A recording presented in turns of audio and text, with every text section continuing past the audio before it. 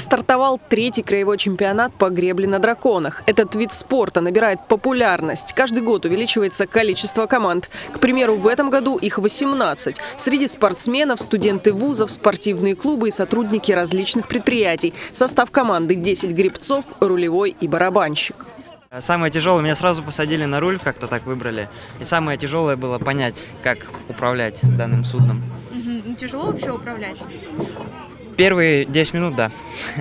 А затем уже ну, начинаешь привыкать и ловишь момент. Ловить моменты, задавать боевой темп и настрой – задача для барабанщика. Барабанщик это ключевое звено лодки, я считаю. Нет, на самом деле барабанщик просто связующая цепь между каждым участником лодки, для того, чтобы мы были гармоничны, единовременны и быстры. Кстати, этот год удивляет и наличием исключительно женских команд. Прошлый год у нас были только миксы. В этом году вот появились еще женские команды. Мужские команды еще не набираем. Все пока хотят гоняться миксами. То есть 6 э, мужчин, 4 женщины на веслах, э, рулевой и барабанщик, независимо от пола. То есть мы сегодня гон- гоняемся на 200 и 500 метров.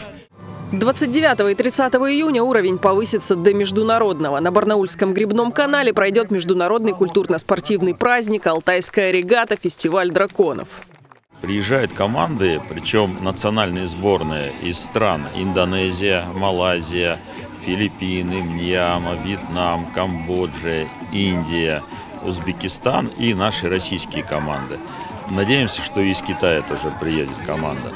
Есть шанс, что от Алтайского края выступят несколько команд. Впрочем, заезды обещают быть жаркими на 200, 500, а особенно на 2000 метров. Ведь по расстоянию эта дистанция практически огибает весь остров. Юлия Щепина. День с толком.